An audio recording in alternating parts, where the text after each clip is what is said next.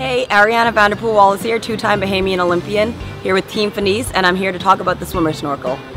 The swimmer snorkel is considered one of Finis's hallmark products. It was the first center-mounted snorkel to be introduced to the market and was the second product that Finis brought to the market after the monofin.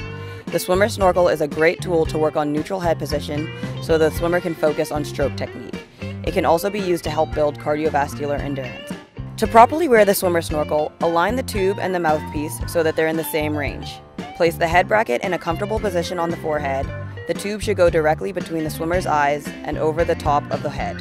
Some of the key features and benefits of the swimmer snorkel are the center mount design, which allows the swimmer to relax in the water and focus on stroke technique. The one-way purge valve allows water to flow out of the tube without entering the mouthpiece, which makes the tube easier to clear when it fills with water.